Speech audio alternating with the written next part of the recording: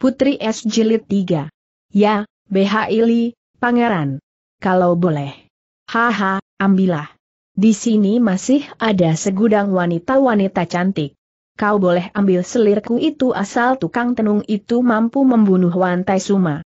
Terima kasih, dan Yao Seng yang berseri meloncat ke belakang, tak tahan dan segera mendapatkan pujaannya itu lalu melepas dulu gairah birahinya sebelum memanggil si dukun ampuh.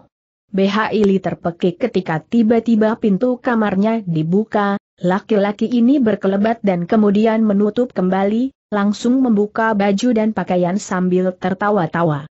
Sikapnya sungguh seperti kucing mendapat demdeng. Rakus, berkesan urakan pula.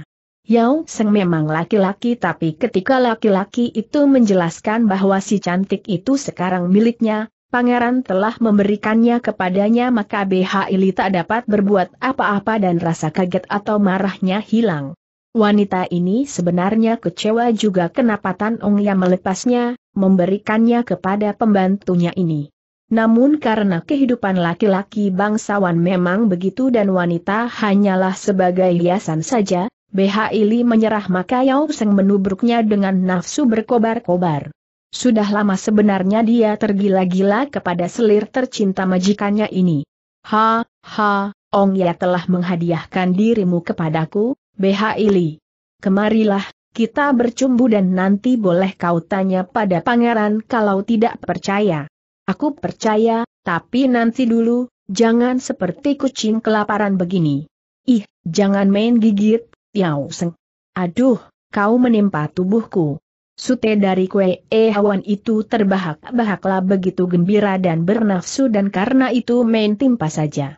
Si cantik yang rupanya baru berdandan langsung diterkamnya, hidung mendengus-dengus dan tentu saja wanita ini menjerit. Permainan Yao Seng brutal. Tapi ketika ia harus menerima dan pagi itu juga Yao Seng bersenang-senang sepuas hati maka barulah malam harinya ia meninggalkan kekasihnya dan tiga hari kemudian dia sudah datang lagi dengan seorang kawannya tengkorak hidup yang tawanya bagai kuda, menghadap Tan Ongnya. Inilah orang yang hamba maksud, laki-laki itu berseri menghadap majikannya. Hamba datang membawa pesanan paduka pangeran. Inilah Wei Erlangbong Chuan Ek hektometer-hektometer. Seng pangeran agak ngeri, si muka tengkorak itu menyeringai, menjura. Dari mana dia, Yao Seng, dan apakah sudah tahu? Apa yang menjadi keinginanku? Ini rahasia besar, tak boleh orang lain tahu. Hehe, si muka tengkorak terkekeh, tawanya mirip kuda meringkik. Hamba tahu apa yang menjadi keinginan paduka, pangeran. Dan tentu saja ini rahasia kita bertiga hamba sanggup membunuh Lantai Suma, dengan ilmu hamba. Tapi apa yang akan hamba peroleh kalau sebelumnya hamba boleh tahu? Hektometer, hadiah diberikan kalau sudah ada bukti. Dan bisakah sebelumnya kau memberikan buktimu di sini? Paduka minta apa? Apa saja sanggup hamba lakukan di sini? Akan hamba buktikan. Kau bunuh saja ayam di kandang pangeran. Biar yang kecil-kecil dulu menjadi bukti Yao Seng tiba-tiba berkata dan berseru kepada temannya itu, tahu maksud junjungannya. Coba kau tunjukkan dari sini, Chuan Ek. Dan biar pangeran melihat dengan mata kepala langsung. Baik, ayam mana yang kau minta? Yang putih atau kah hitam itu? Hektometer, ada juga jago merah. Seng pangeran tertegun. Si muka tengkorak ini mengeluarkan cermin dan tiba-tiba saja dari dalam cermin itu muncul bayang-bayang tiga ekor ayam jago di kandang. Bayang-bayang itu menjadi jelas setelah diusap tiga kali. Tiga ayam jago itu tampak gagah dan sombong di tempatnya masing-masing. Dan ketika kakek ini berkemak-kemik dan mencentik jago hitam di dalam cermin tiba-tiba terdengar keok yang keras sekali sampai terdengar di ruangan itu. Apa yang kau lakukan Seng Pangeran terkejut, terbelalak.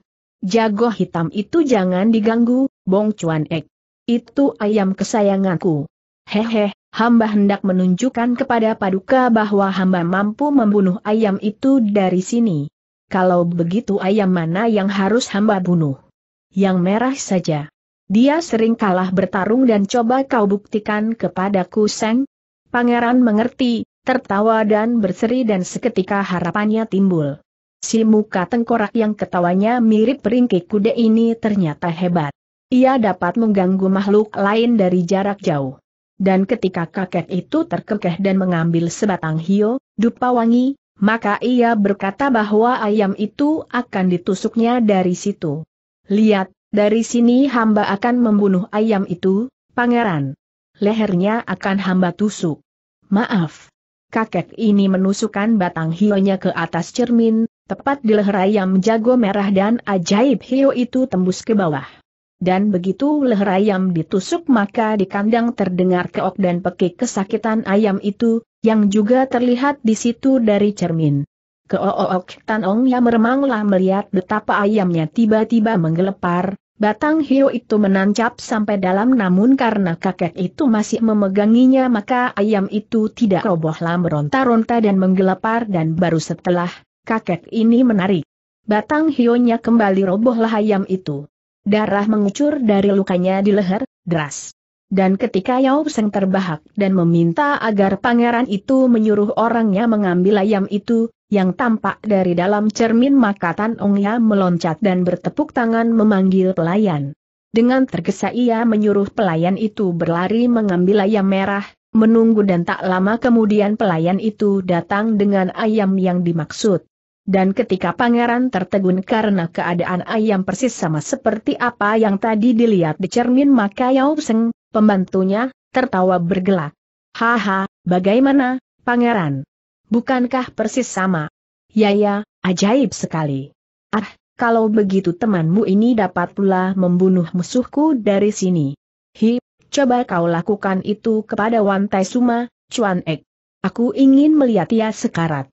Jangan bunuh dulu, siksa dan tusuk-tusuk lehernya seperti ayam itu. Haha, aku ingin melihat. Laki-laki ini mengangguk.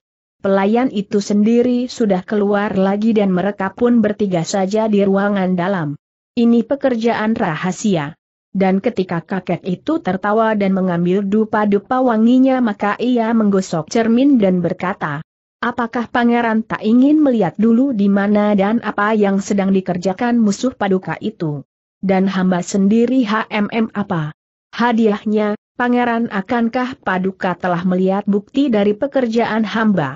Haha, kau mau minta apa? Apa saja dapat kuberikan? Bagaimana kalau ia bekerja sekalian di sini Yao Seng tiba-tiba mendahului, memotong. Bong Chuan Ek ini setingkat dengan hamba, Pangeran, dia juga berkepandaian tinggi. Hamba hanya kalah ilmu tenungnya itu. Dia dapat menggantikan suheng hamba kue Ewan. Haha, boleh. Kau dapat bekerja pula di sini. Tapi hamba juga ingin main-main dengan wanita-wanita cantik, si muka tengkorak itu terkekeh, matanya melirik ke dalam, tempat para selir. Kalau boleh tentu hamba tinggal di sini, pangeran. Tapi apakah Paduka setuju atau tidak? Hektometer, mereka Tan Ong Ya tertegun, tapi akhirnya mengangguk. Tak tahu apakah ada selir-selirnya yang mau melayani Bong Chuan Ek ini. Habis, mukanya seperti tengkorak. Kalau kau dapat menundukkan yang kau suka tentu saja boleh, Chuan Ek. Tapi jangan sampai menakut-nakuti. Haha Yao Seng tahu maksud majikannya. Kalau ada wanita yang menolak Bong Chuan eh maka dia bukan si ahli tenung, pangeran. Teman hamba ini pandai. Dia dapat menundukkan siapa pun untuk dijadikan kekasihnya. Kalau perlu, permaisuri pun dapat direngkuhnya. Hektometer, jangan bertindak yang melebihi bahaya. Di tempat kaisar ada orang-orang tertentu yang berkepandaian tinggi. Kalau kita sampai ketahuan tentu nanti celaka. Sudahlah, Cuan E boleh memilih siapa saja wanita di sini tapi jangan di luar. Terima kasih, dan sekarang juga hamba akan bekerja, tetapi ketika kakek itu akan meletakkan dupa-dupa wanginya mendadak pangeran ingin tahu bagaimana kakek itu mampu menundukkan wanita. Tunggu, nanti dulu, Cuan Ek.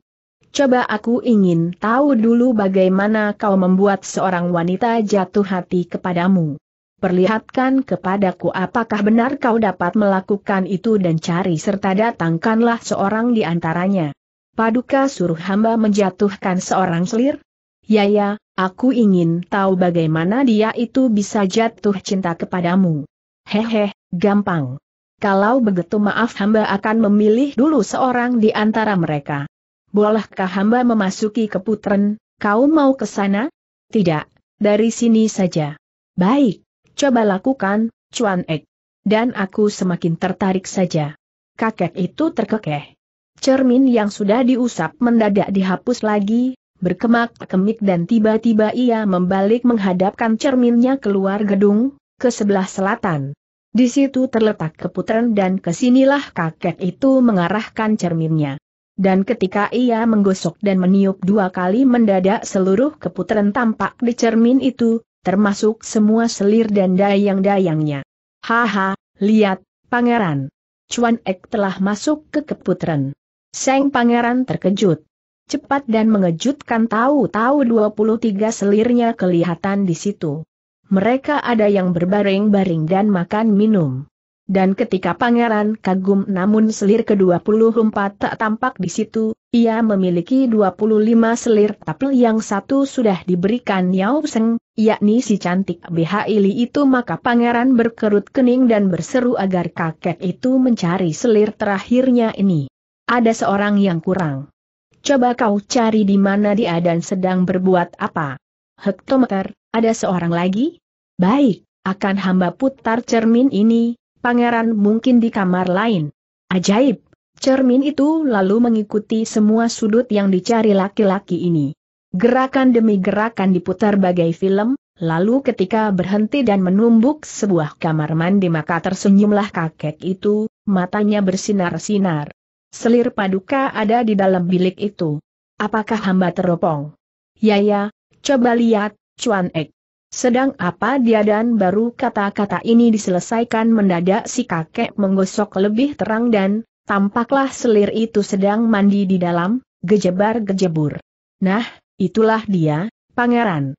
Maaf kita nonton wanita telanjang. Haha Seng pangeran tertawa bergelak. Kau hebat dan jempolan sekali, Cuan Ek. Air, cerminmu luar biasa.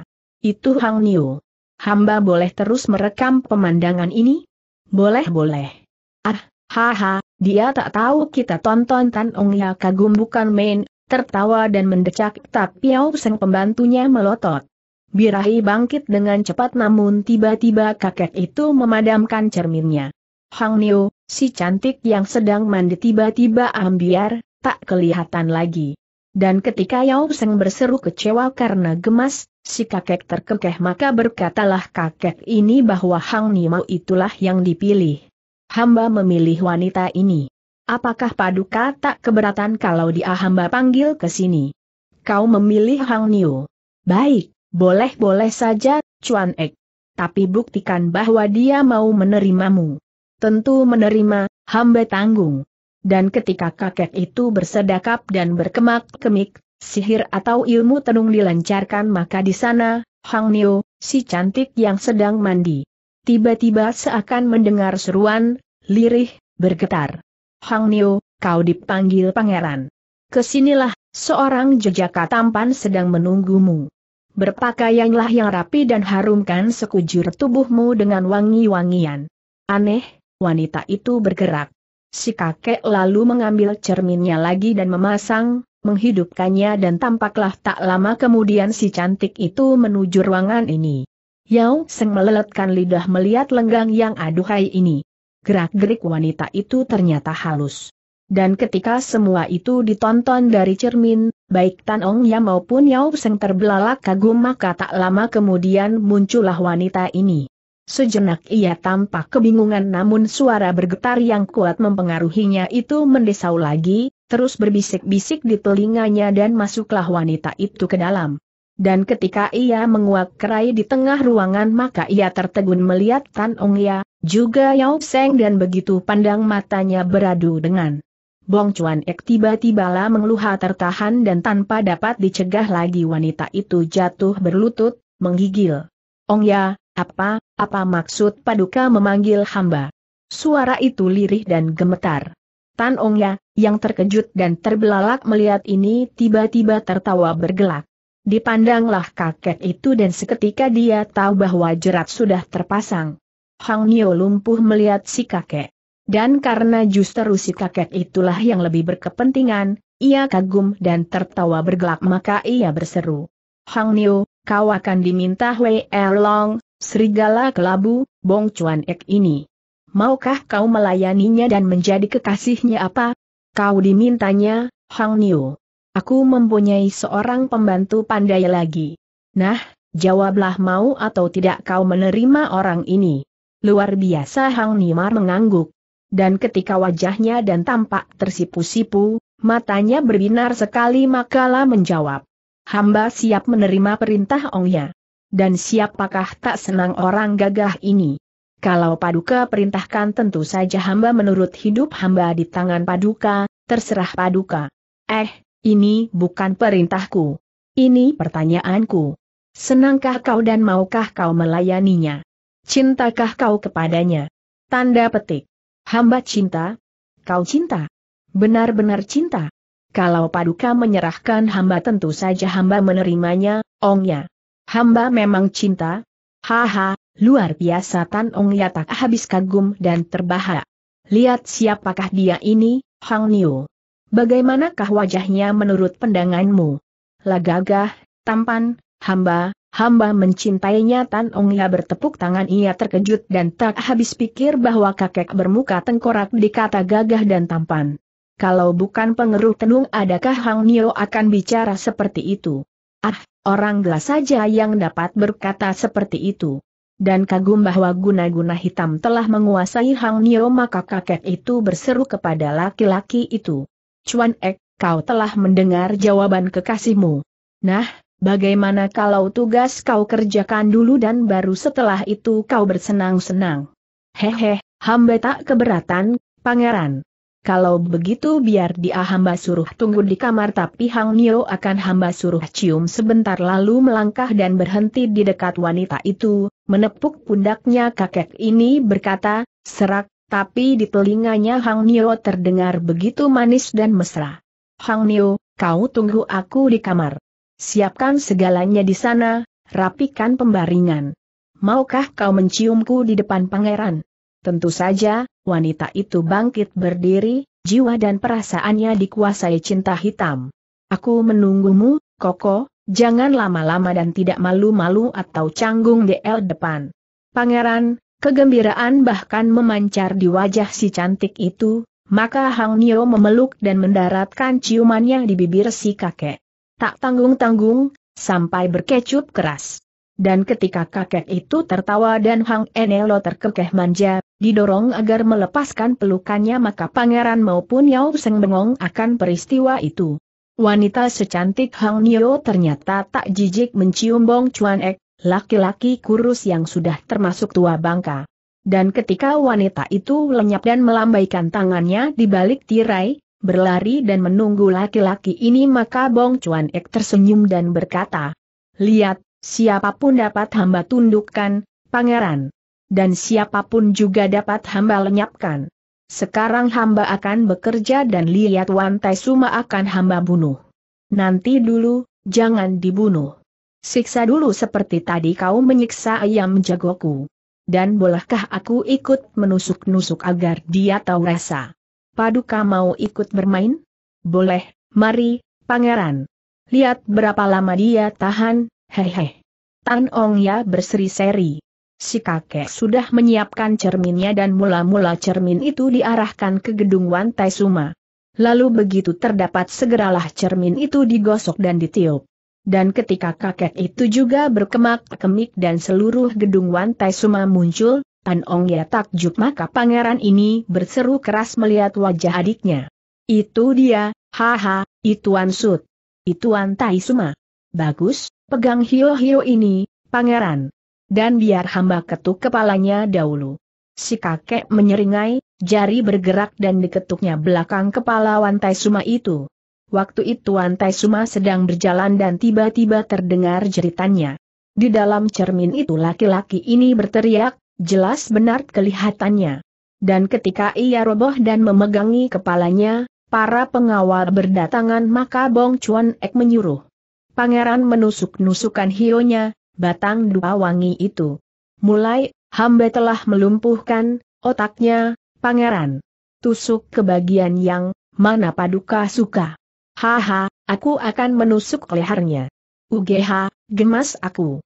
Lihat dan ketika Tan Ong Ya menggerakkan dan menusukkan batang dupanya, di sana Wan Tai Suma berteriak maka selanjutnya batang dupa itu ditarik dan ditusukkan lagi ke pundak dan kaki atau tangan menteri itu.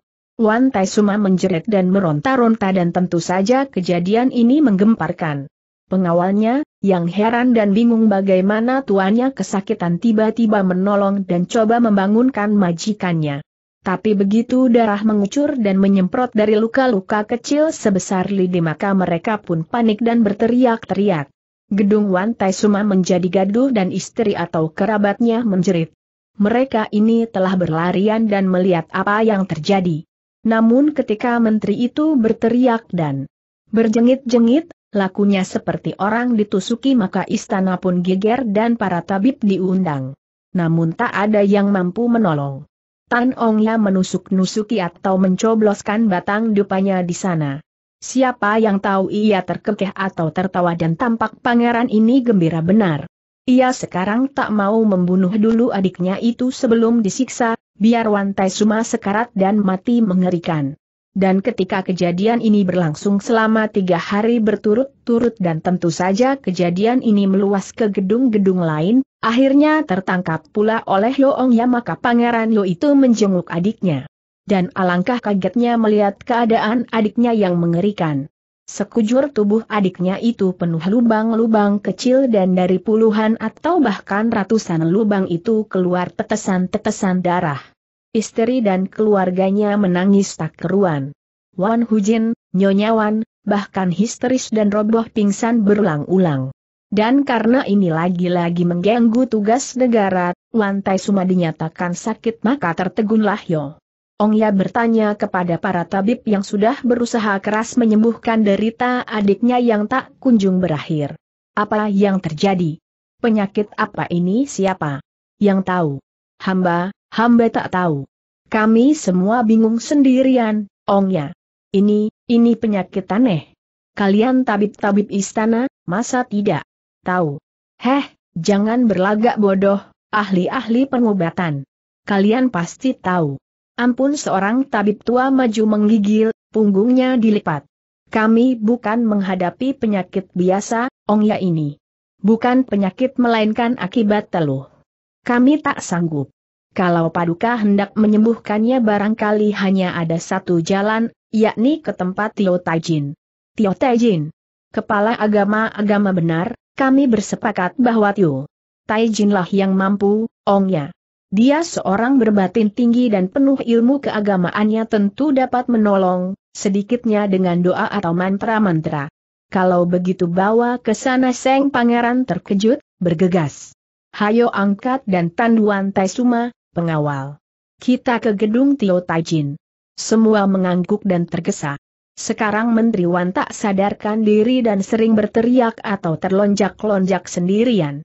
Mulutnya berbebih dan pipi serta mulutnya berlubang-lubang. Sekujur tubuhnya penuh bekas luka dan tak terhitung lagi bercak darah di permukaan tubuhnya, tak pelakuan Taisuma seperti kesakitan ditusuk orang. Dan ketika semua bergegas dan menuju gedung Tio Taijin, kepala agama yang berusia tujuh puluhan tahun maka tertegunlah kakek ini melihat keadaan Wan Tai Suma. Tian yang Maha Agung, ini akibat teluh. Duh, benar kiranya kabar yang kuterima, Yoongnya. Hari ini aku akan ke sana tapi kalian ternyata mendahului. HMM siapa yang berbuat? Keji benar. Wan Tai Suma lalu dimasukkan ke gedung kepala agama ini dan tampak betapa. Korban berjengit dan berteriak-teriak. Tubuhnya sudah kurus dan istri serta kerabatnya mengguguk mengiringi. Semua tak tahan dan ikut menangis. Tapi ketika laki-laki tua itu mengusir yang lain dan korban dimasukkan kamarnya, hanya Yoong Ya dan Wan Hujin yang boleh masuk maka kakek ini cepat bersila dan bersama di. Dan terkejutlah kakek itu. Sebuah getaran kuat mencoba memasuki tubuhnya dan lampu mendadak bergoyang-goyang. Tio Taijin bertahan dan mendadak ia menggeram. Dan ketika cepatlah membuka matanya dan mengebutkan ujung lengan baju, mengeluarkan sebuah telur dari logam kuningan mendadak kamar bergemuruh dan meja kursi serta almari ambruk. Berlindung, kita diserang kekuatan hitam. Wan Hujin dan Yo Ong Ya berteriak kaget. Lampu di atas kepala jatuh dan hampir saja menimpa mereka. Yo Ong Ya menarik Wan Hujin itu dan cepat bersembunyi di kolong tempat tidur. Itulah satu-satunya tempat aman. Wan Hujin menjerit-jerit, histeris. Dan ketika benda-benda di langit ruangan jatuh semua, pecah dan teng-ting-teng-ting maka Tio Taijin memegang erat-erat telur kuningannya itu, bibir berkemak-kemik. Dan cermin di dinding sebelah kiri tiba-tiba pecah. Terangguk orang-orang di kolong pembaringan pucat. Yo Ong Ya telah mendekap mulut temannya namun saat itu Wan Hujin mengeluh dan roboh pingsan. Terlalu hebat semua kejadian itu bagi wanita ini. Dan ketika di sana Tio Taijin gemetaran dan terus berkemak-kemik, telur kuningan di tangannya tiba-tiba meledak maka tampaklah wajah si pelaku namun saat itu juga Bong Chuan Ek membanting hancur cerminnya. Apa yang terjadi? Kiranya sebuah pertandingan seru, pertandingan batin yang tak kalah menegangkan dengan pertandingan tinju. Karena ketika Wantai Suma sudah mulai memasuki gedung Tio Taijan ini maka di sana Bong Chuan Ek terkejut karena bayang-bayang di cerminnya mulai buram. Kakek ini terkejut karena semacam awan atau kabut tipis. Mengganggu pandangannya, begitu pula Tan Ong Ya maupun Yao Seng yang selama tiga hari ini terus memonitor hasil perbuatannya. Dari tempat itu mereka tahu segala kejadian yang terjadi di tempat Wan Tai Suma. Dari cermin itu mereka melihat betapa Wantai Suma menjerit dan berjengit-jengit setiap kali ditusuki. Menteri ini sudah tak sadarkan diri. Tapi begitu ia dibawa ke tempat Tio Taijain dan di halaman kepala agama itu ternyata memancar kekuatan suci yang menolak hawa ilmu hitam, cermin yang semula jelas mendadak kabur dan buram maka Bong Chuan Ek berseru marah dan ia memperkuat tenaga batinnya, Demikian kuat sampai getaran ilmu hitam itu menggemuruhkan isi kamar kepala agama, akhirnya menjatuhkan segala benda di langit-langit ruangan dan tapi karena Tio Taijan juga memperkuat perlawanannya dan batin yang bersih dari penasihat kaisar ini sedikit tetapi pasti mendorong pengaruh hitam, telur ajimatnya juga memancarkan cahaya dan menolak pengaruh gaib itu maka telur tiba. Tiba semakin terang dan tepat di dalam telur itu. Terlihat wajah Bong Chuan Ek maka secepat itu pula kakek ini membanting hancur cerminnya, tak mau ketahuan. Keparat, aku kalah. Tan Ong Ya dan Yao Seng terkejut. Mereka tak tahu apa yang terjadi namun Bong Chuan Ek menggigil kedinginan, kakek ini berkeringat.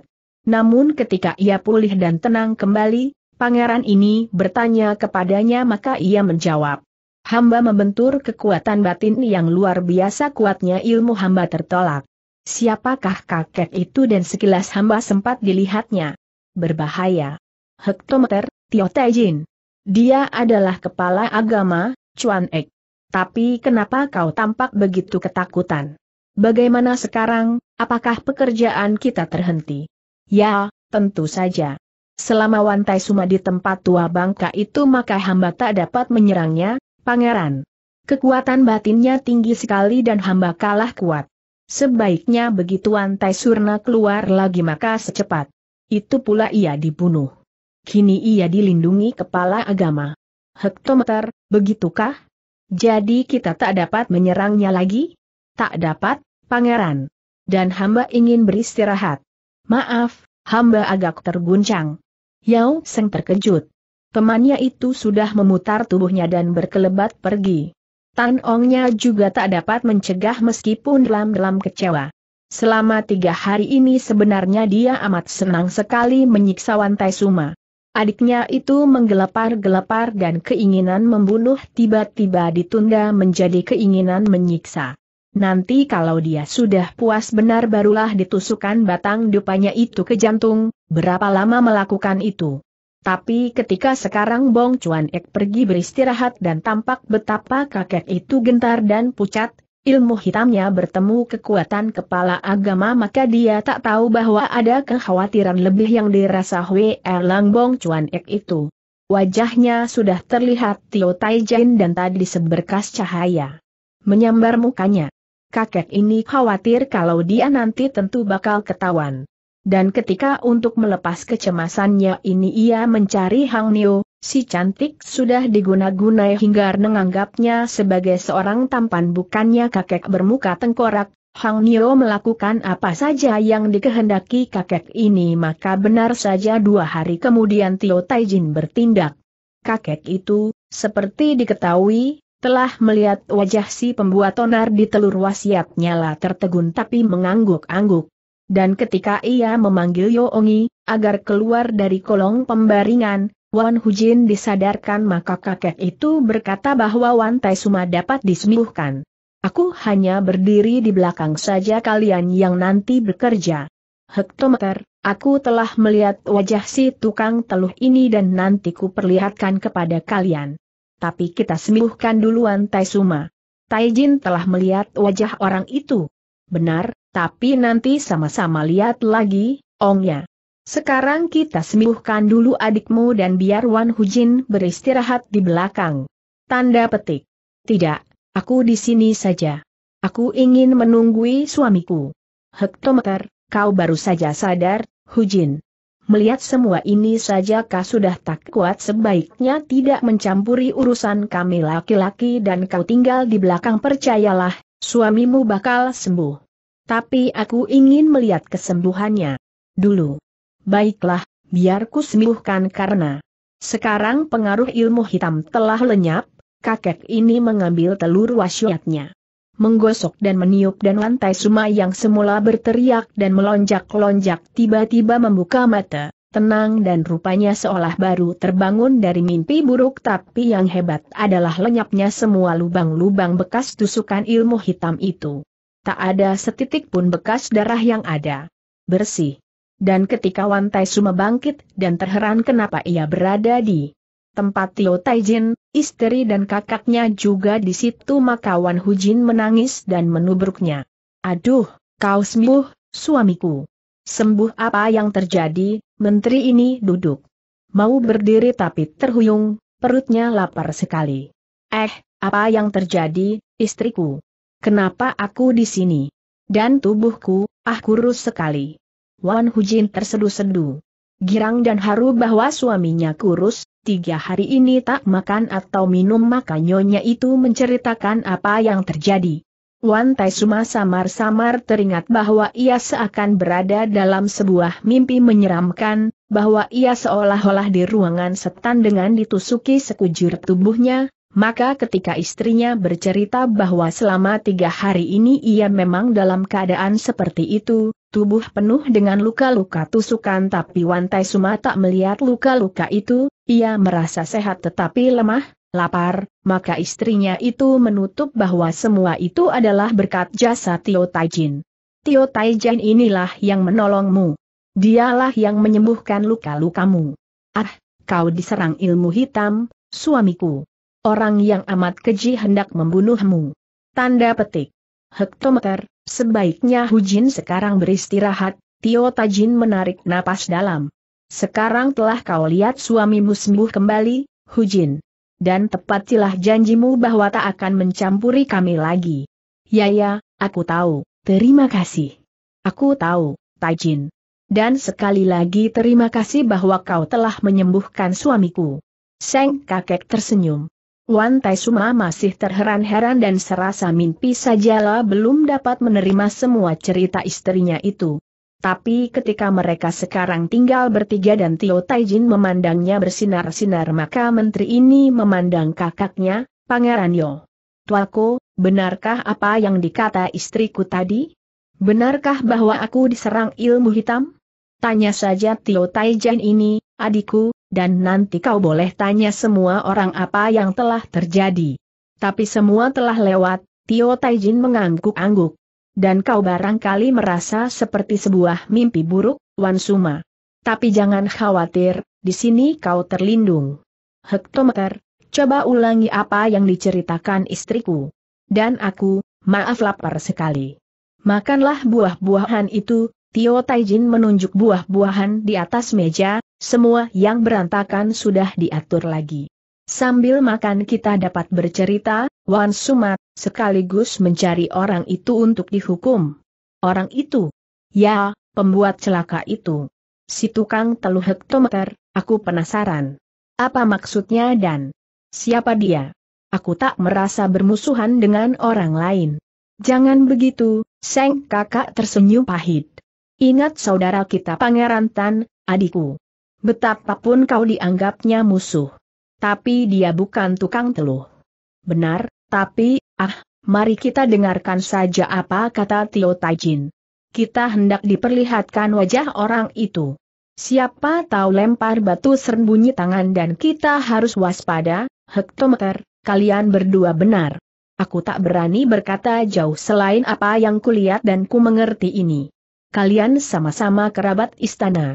Mari ku perlihatkan wajah orang itu dan selanjutnya kalian harus mencari atau menangkapnya.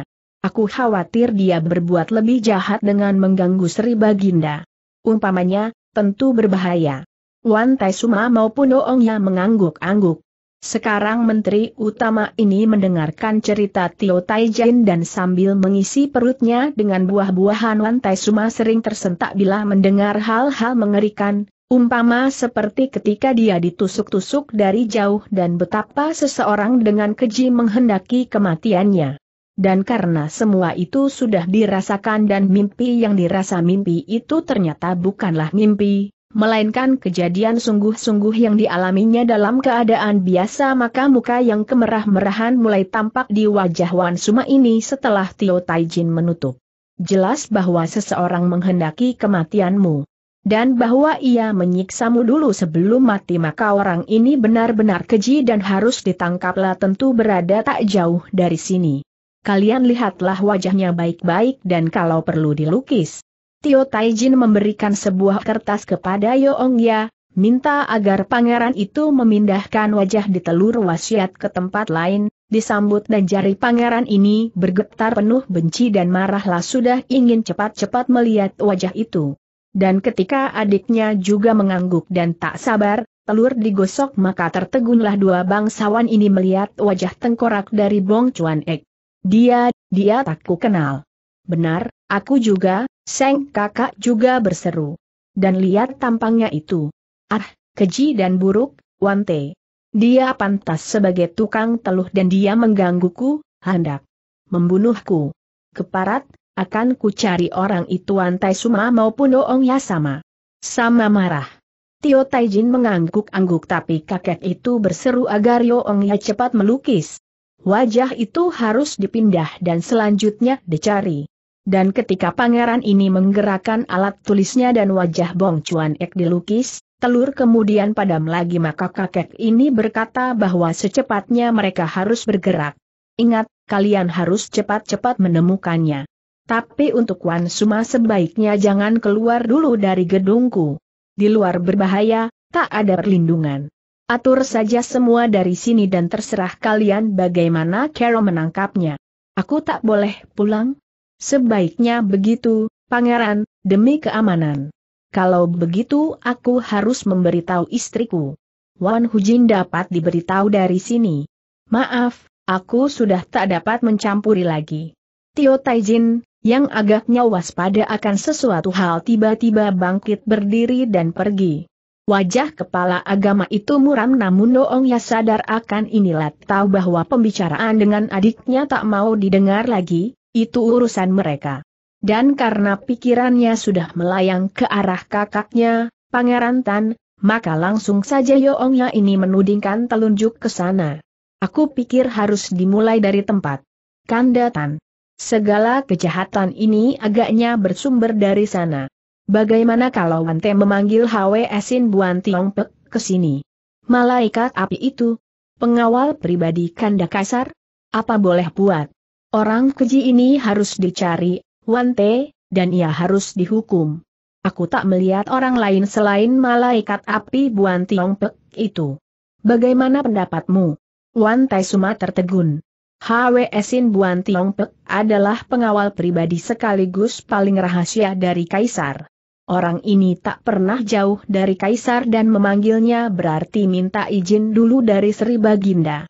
Kalau begitu maka kaisar harus diberitahu dan segala kejadian ini dibuka. Kalau nanti benar maka kakaknya Pangeran Tan bakal menerima resiko berat, itu kalau dia otak dari semua ini. Dan karena dia sendiri telah kehilangan pengawal pribadinya yang paling dipercaya, San Cek Tojin itu maka apa boleh buat menteri ini menerima. Apalagi karena HWSin si malaikat api dapat diminta untuk bekerja secara rahasia pula. Baiklah, aku akan minta Sri Baginda mengizinkan Buan Tiong Pek, Kanda. Tapi bagaimana aku ke sana padahal Tio Taijan tak memperkenankan aku keluar. Kau buat surat permohonan saja selebihnya aku yang mengantar. Wan Taisuma mengangguk. Sebenarnya berat baginya menuduh kakaknya Tan Ong Ya itu mereka masih saudara dan nanti bisa geger. Namun karena dia mau dibunuh dan perlakuan yang diterimanya sungguh keji sekali, hampir dia binasa maka dia menulis surat dan kakaknya Yo inilah yang mengantar. Dan Kaisar tentu saja tertegun. Buan Tiongpek mau dipinjam. Wan Taisuma menghendakinya? Benar, Sri Baginda, dan ini bersifat rahasia sekali. Paduka tentu telah mendengar nasib yang menimpa Wan Suma. Ya ya, aku telah mendengar. Tapi tak kira adalah penung. Hektometer, baiklah, adik Tan. Bawalah Buan Tiongpek dan tangkap Jahanam itu. Seret dia kemari dan kalau bisa ditangkap hidup-hidup. Mana pengawal paduka? Aku sudah di sini, Seng Pangeran terkejut, membalik dan sudah melihat seorang tinggi kurus meram melek seperti orang mengantuk, kaget tapi seketika girang. Kalau Baginda mengizinkan tentu hamba berangkat, ongnya. Tapi sebaiknya hamba lindungi dulu Baginda dengan selimut sakti. Wut tanda seru sebuah jala terlempar, menakuk dan tahu-tahu membungkuk Sri Baginda dan Pangeran terkejut. Buan Tiongpek mendorongkan lengannya dan tahu-tahu Sri Baginda lenyap, bagai disehir. Dan ketika laki-laki itu tertawa sementara dari kejauhan Sri Baginda juga tertawa, entah di mana beradanya maka Hwesin Buan Tiongpek berkelebat. Pangeran, pulanglah. Nanti malam akan hamba antar si Hinajian itu. Hi, nanti dulu Tan Ong Ya berseru. Di mana kau mengantarnya, Hwesin? Di mana aku menunggu? Paduka tunggu saja di tempat Tio Tajin. Di sana nanti kita bertemu dan ketika pangeran itu mendelong dan takjub, baru kali ini dia bertemu pengawal amat rahasia itu maka dia kembali dan melapor kepada adiknya. Dan Wan Suma berseri-seri. Nanti malam? Dia sudah dapat menangkap dan membawa si iblis itu? Benar, begitu katanya, Wan Te. Dan sekarang mari kita tunggu. Dua bangsawan ini tegang. Mereka merasa tak sabar dan berdebar oleh janji itu. Dan karena baru kali itu Tan Ong Ya melihat Buan Tiongpek, maka dia mendecak menyatakan kekagumannya. Hebat, luar biasa sekali. HWSin Buan Tiongpek itu amat sakti. Ia dapat pergi dan datang bagai siluman. Dan Sri Baginda dilindunginya pula dengan semacam jala sihir. Hektometer, aku tahu dan aku juga sekali pernah bertemu dengannya, Kanda. Dan dia memang benar-benar hebat. Aku juga kagum. Dan malam nanti dia datang. Entah bagaimana caranya dia menemukan dan menangkap tukang teluh itu. Aku juga tak tahu, tapi aku percaya kepadanya. Marilah kita nantikan dan malam nanti pasti dia datang. Lalu ketika dua orang itu bercakap-cakap tak ada habisnya, yang dibicarakan adalah pengawal rahasia itu maka di tempat Tan Ong Ya terdengar jeritan. Malam itu, di kala bulan bersinar penuh dengan cahayanya yang buram. Seakan ngeri melihat tindak tanduk manusia sesat maka Hui Erlang Bong Chuan Ek berada di kamar kekasihnya. Hang Nio begitu tergila-gila kepadanya hingga apa pun yang disuruh dikerjakannya dengan baik, termasuk malam itu ketika dia harus memijati si kakek buruk. Dalam pandangan Hang Nio kakek ini bukanlah seorang kakek melainkan seorang pria gagah berusia 35-an tahun, cakap dan menggetarkan dan entahlah setiap dia beradu pandang maka jiwa dan perasaannya bergemuruh. Nafsu berahinya bangkit dan itulah tanda-tanda ilmu hitam, guna-guna atau mantra yang dilepas kakek ini untuk menjerat mangsanya. Dan ketika malam itu Bong Chuan Ek minta diselimuti, sehari tadi mereka puas bercinta maka kakek ini berkata agar wanita itu pun masuk ke dalam selimutnya. Asyik. Kau jangan ke mana-mana, ke sinilah, tinggal bersamaku di dalam selimut. Aku agak kedinginan, Hang Niu. Entah mengapa hatiku terasa tak tenteram. Kanda merasa apa, kenapa tak tenteram? Bukankah sudah kupijiti dan sehari penuh bersenang-senang? Kalau ingin hangat dapat ku hangati, Kanda. Dan aku, HMM aku. Merasa kurang. Nanti dulu tidak seng kakek menepis. Tangan Hang Niu. Wanita itu menjulurkan tangannya ke bawah pusar dan hendak memegang-megang. Ngeri dia. Sehari sudah dikuras dan sekarang hendak diajak bercinta lagi, mana tubuhnya yang rentak itu kuat. Tentu bakal mati kering. Dan ketika Hang Nimar menarik tangannya dengan kecewa, kakek itu dipanggilnya sebagai kanda maka Bong Chuan Ek yang berdebar merasakan firasat tak enak sudah tengkurap dan minta dikeroki punggungnya. Apa? Benar, keroki punggungku, Hang Niu. Aku merasa dingin. Punggungku ini berdiri bulu-bulu rambutnya. Hai hik, kok lucu. Kau ini aneh sekali, Kanda. Masa bulu punggung bisa berdiri, seharusnya kan. Sudahlah, aku tidak main-main. Keruki punggungku dan jangan banyak cakap. Si cantik tersentak. Dia dibentak dan tutup mulut dan tiba-tiba menangis. Air matanya meleleh namun ia tak berani mengeluarkan suaranya. Dan ketika ia bangkit dan mengeroki punggung itu, Punggung si kakek benar saja dingin maka Bong Chuan Ek meramelek dan sejenak merasa tenang, nikmat. Namun tiba-tiba terdengar angin berdesir, lampu sekonyong-konyong padam. Dan ketika Hang Nimar menjerit karena si kakek melompat dan menerkam tubuhnya, kaget, maka Chuan Ek berseru kenapa lampu padam. Siapa yang mematikan? Keparat, apa ini Bong Chuan Ek tergesa menyalakan kembali.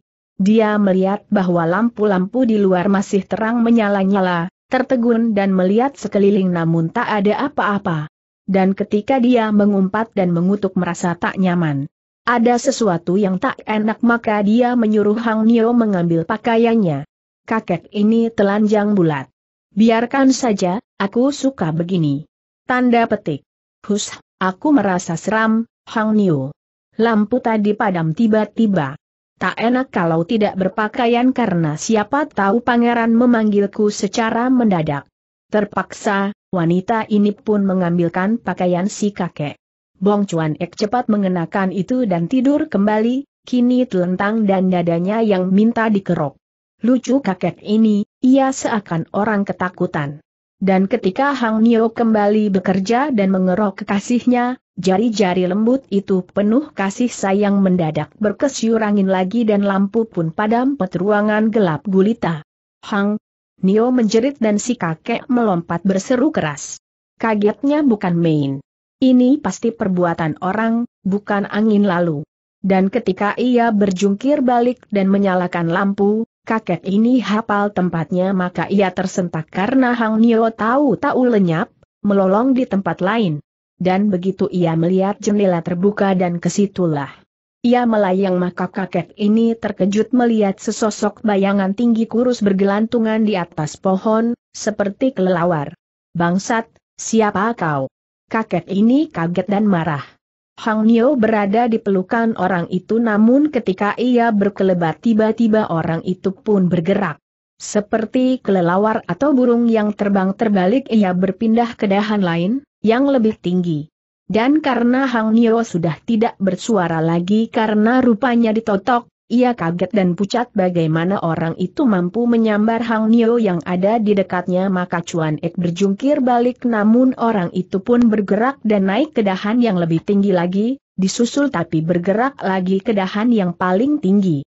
Dan ketika mereka tiba di puncak pohon di mana Chuan Ek membentak melepas pukulan, lawan tak mungkin naik ke atas lagi maka orang itu, yang kini tertawa aneh tiba-tiba menangkis dengan kakinya.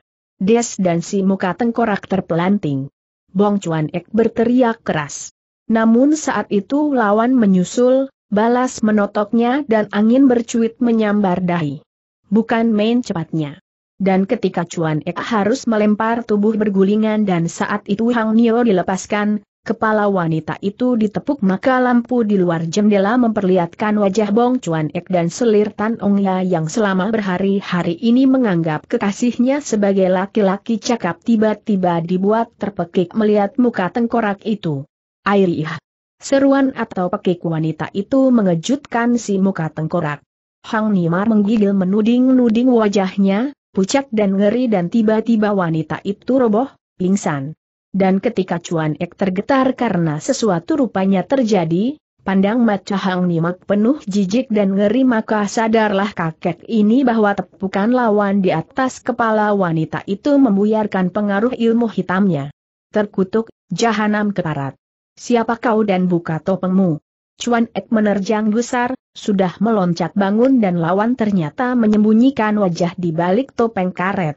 Sepintas mukanya juga seperti setan namun Cuan Ek tahu bahwa lawan menyembunyikan wajahlah membentak dan menerjang namun lawan berkelit ke kiri. Dan ketika ia agak terputar oleh ayunan tubuhnya sendiri, orang itu tertawa dingin maka keluarlah kata-katanya penuh ancaman. Hektometer, ini kiranya tikus busuk yang meneluh lantai suma.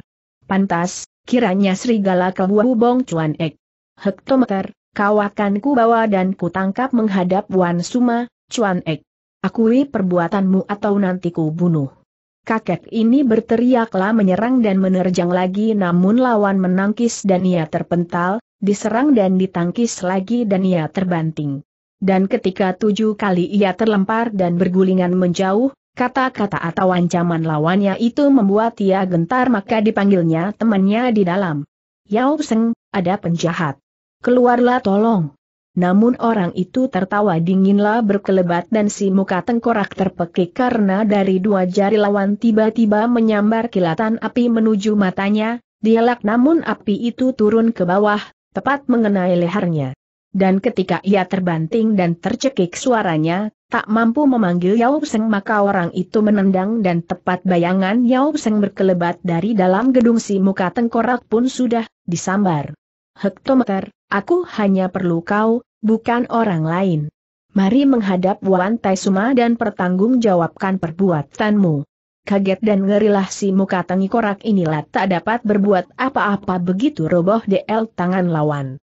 Urat gagunya tertotok, jalan darah di pundak dan punggungnya juga tertotok. Dan karena ia tak dapat berteriak ataupun meronta maka orang itu membawanya pergi sementara Yao Seng terkejut dan berteriak. Melihat orang ini, yang berkelebat dan keluar pagar. Hei, siapa kau? Berhenti.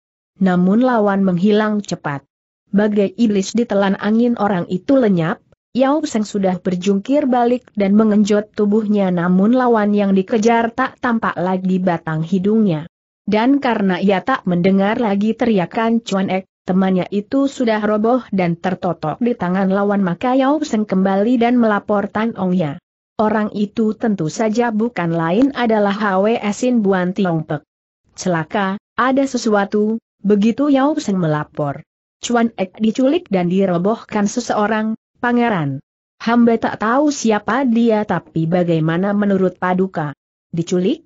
Dirobohkan seseorang benar, dan hamba tak tahu siapa dia. Pangeran. Yang jelas tentu seorang lihai kapan terjadinya. Tanda petik. Baru saja. Hamba mengejar namun orang itu sudah terlalu jauh.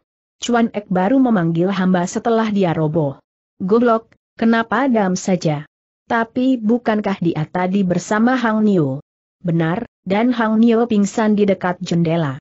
Barangkali Paduka dapat bertanya apa dan bagaimana mula-mula peristiwa itu terjadi Yao Seng, yang berkelebat dan mengambil Hong Nima lalu menyadarkan wanita itu.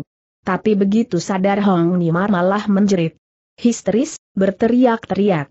Tidak, tidak. Jangan serahkan hamba kepada si muka tengkorak itu, Ongnya. Jangan berikan hamba kepadanya. Hamba lebih baik melayani paduka. Atau hamba mati, aduh. Yao Seng mencengkeram pundaknya, terkejut dan membentak wanita itu agar diam dan Tan Ong Ya membelalakan mata. Dia kaget bagaimana Hang Nio tiba-tiba bicara seperti itu, Chuan Ek tidak lagi dianggapnya sebagai laki-laki cakap melainkan seorang bermuka tengkorak, berarti pengaruh guna-guna telah lenyap dan tentu saja pangeran itu tertegun. Namun ketika dia berseru agar wanita itu tenang, Chuan Ek tak ada di situ maka pangeran ini bertanya apa yang sebenarnya terjadi. Tak usah takut, tak usah gelisah. Chuan Ek tak ada di sini dan justru ia ditangkap musuh. Ceritakan apa yang terjadi dan bagaimana tiba-tiba musuh itu datang, Hang Niu. Kau tak akan bersamanya lagi karena akan bersamaku. Hamba-hamba tak tahu. Kamar waktu. Itu tiba-tiba padam dan dua kali angin berkesyur tajam. Kau melihat laki-laki itu? Tidak. Mukanya tertutup topeng, ong, ya tapi jauh lebih baik daripada si muka tengkorak itu. Hamba disambarnya dan tahu-tahu sudah dibawa keluar kamar. Hektometer, dan bagaimana dengan Chuan E ia mengejar, sejenak berlompat. Lompatan di atas pohon. Tapi ketika dua kali ia ditangkis dan terpelanting ke bawah maka hamba dilempar dan saat itulah hamba melihat siapa sesungguhnya si muka tengkorak itu. Paduka kejam memberikan hamba kepada seorang buruk rupa, tua bangka lagi. Hang Nimar menangis dan menyalahkan Tan Ong Ya, mengguguk dan terseduh-seduh lagi dan selanjutnya wanita itu berkata bahwa ia tak tahu apa-apa lagi setelah dia pingsan. Wajah Chuan Ek terlalu mengerikannya. Berulang-ulang wanita ini menyesali Tan Ong Ya. Tapi ketika Tan Ong Ya terbelalak dan merah mukanya, hatinya tiba-tiba juga menjadi tak enak maka dia membentak menyuruh wanita itu masuk ke kamar. Cukup, Baiklah.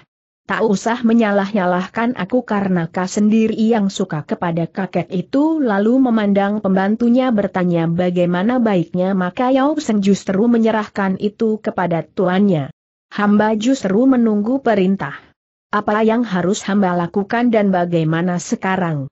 Baik, kalau begitu cari jahanam itu Yao Seng. Kalau perlu, kerahkan pengawal. Tapi hati-hati, Aku khawatir orang itu adalah suruhan Wan Suma. Tapi dia di tempat Tio Taijin. Cari saja ke sana. Kalau perlu, bunuh Wan Suma. Laki-laki ini mengangguk. Dia sekarang dapat bekerja setelah ada perintah ini.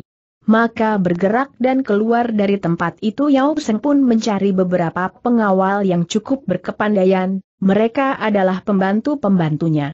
Dan begitu bergerak dan menuju gedung Tio Taijin, Tentu saja secara diam-diam maka di gedung itu Bong Chuan Ek sedang dikompres.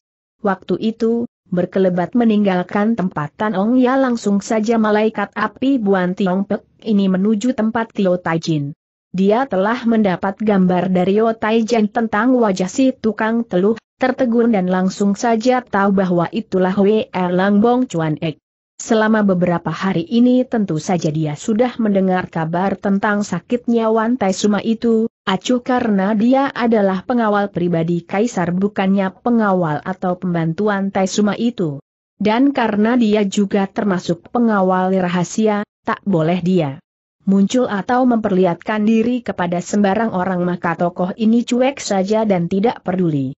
Dan baru setelah Yoong Ya menghadap Kaisar dan minta tolong maka dia melaksanakan perintah tapi Kaisar disimpannya dulu di balik ilmu saktinya seperti selimut sihir itu. Dan kini dia telah menangkap si biang penyakit. Dengan mudah dia meninggalkan Yao Seng, dan Chuan Ek yang berada di bawah totokannya tak mungkin bisa melepaskan diri dan tepat malam itu dia menemui Yoong Ya maka Seng Pangeran tertegun melihat yang dibawa pengawal rahasia Kaisar ini. Ah, tepat janji. Hebat. Kau datang setelah tak sabar kami menunggu-nunggu, Buan Eng Hyong, orang gagah Buan. Bagus sekali kau membawa tawananmu. Apakah ini tukang teluhnya? Hwesin Buan Tiong Pei mengangguk. Dia telah melepas topeng karetnya dan sang tawanan dibanting. Chuan Ek dibuka totokan urat gagunya dan si muka tengkorak itu terbelalak memandang tiga orang di situ, terutama Hwe Esin. Si malaikat api yang ingin dikenal. Sudah sejak tadi ia ingin tahu siapa lawannya ini tapi baru sekarang dia tahu. Pengawal rahasia itu telah membuka wajahnya. Dan begitu ia tahu dan terpekik maka Hwe Erlang Bong Chuan Ek berteriak tertahan. Hwe Esin. Laki-laki itu tersenyum dinginlah tidak memandang sebelah metu dan si tukang teluh seakan terbang semangatnya. Pantas ya roboh, kiranya lawannya adalah malaikat api, seorang amat sakti yang sudah puluhan tahun tak terdengar lagi namanya, kiranya bersembunyi di istana. Chuan Ek masih tak tahu bahwa lawannya itu adalah pelindung pribadi kaisar.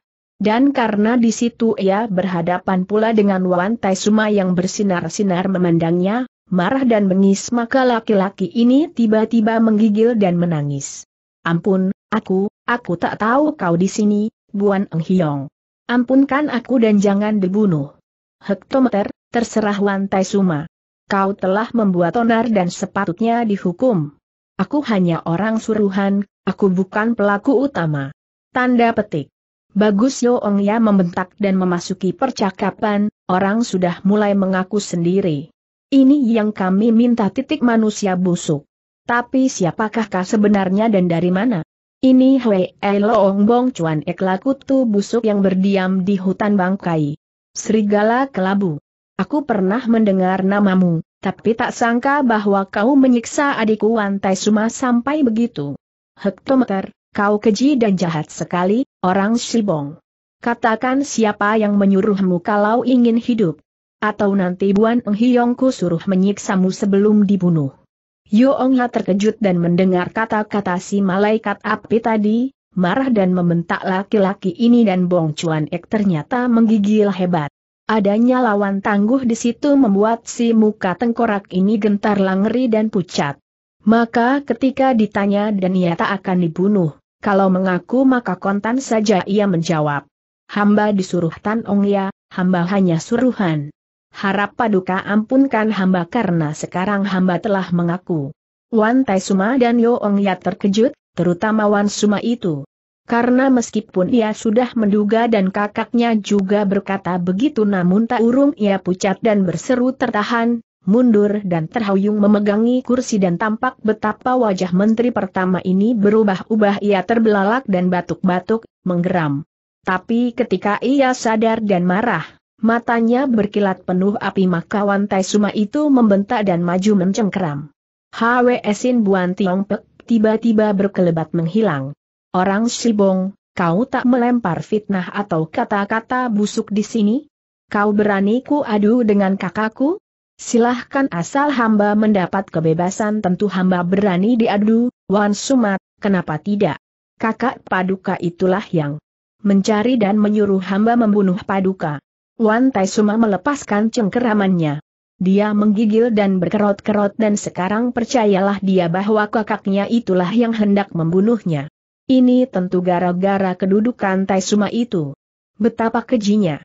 Namun ketika ia gemeretuk dan tinggal membawa Bong Chuan Ek ini menghadap kakaknya, diadu, maka saat itulah berkelebat beberapa bayangan dan Yao Seng muncul, mengenakan kedok. Chuan Ek, kau pengkhianat. Si muka tengkorak terkejut. Ia tiba-tiba heran tak melihat malaikat api di situ. Namun begitu ia mengenal suara temannya dan saat itu ia masih tertotok, hanya urat gagunya saja yang dibuka maka serangan Yao Seng ini amat mengejutkan. Dan saat itu enam bayangan lain juga bermunculan dan menyerangnya. Hei, Wan Tai Suma dan Yo Ong Ya terkejut. Mereka adalah pembesar-pembesar tinggi dan Masuknya orang-orang ini sungguh membuat kaget. Heran dan terkejutlah mereka kenapa para penjaga di luar tak mengetahui. Lebih heran dan kaget lagi karena baru sekaranglah mereka tahu bahwa Awe Esin Buan Tiong Pek pun tak ada di situ. Tapi ketika mereka mundur dan siap berlindung di balik dinding, mungkin saja giliran mereka tiba mendadak berkesyur angin dingin dan malaikat api itu muncul dengan topeng karetnya. Yao Seng, kawan Jing Buduk tak tahu. Malu. Yao Seng terkejut. Saat itu dia sudah menghantam kepala temannya ini karena tak mau Cuan Ek membuka rahasia di depan Tan Ongnya. Si muka tengkorak itu dalam keadaan tertotok dan mudah baginya membunuh. Dan karena enam temannya yang lain juga menyusul dan kematian si muka tengkorak ini tak mungkin dihindari, Yao Seng telah mendengar percakapan itu dan itulah sebabnya malaikat api menghilang, datang dan muncul lagi dengan wajah yang lain maka suara dingin disertai angin. Dingin itu membuat Yao Seng terkejut.